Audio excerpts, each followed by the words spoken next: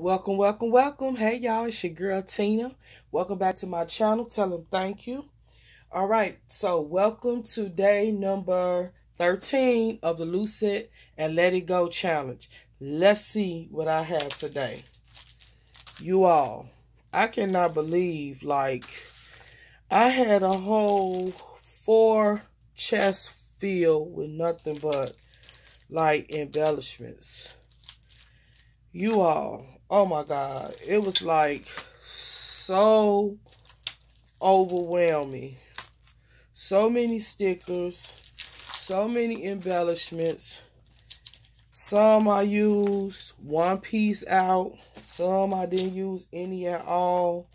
But guess what? I have to loose this stuff and let it go. I need, oh my God. It, it, it's just ridiculous how much I had.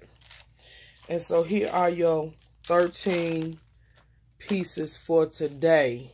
Yes, yes, yes. I already know. And guess what? Is more to come. It was unbelievable how many embellishments I had stuck in that four draw unit. And like now it's like free. I could get other things in there. All right, you all. Meet me back tomorrow. Same time, same place. Day 14, 14 items.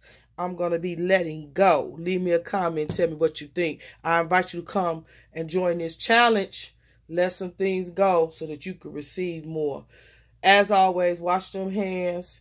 Stay blessed and healthy. Keep creating.